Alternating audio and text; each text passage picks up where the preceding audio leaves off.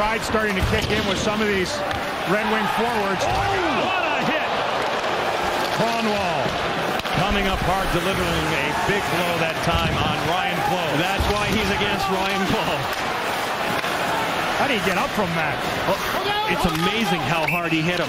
He had him tracked so well. Clowe was oh. looking back behind him, and by the time he looked forward, it was too late. 55s everywhere. San Jose with a 2 to 1 lead after 40. Sometimes there are hits and then there are calamities. That's what that was. Kabang.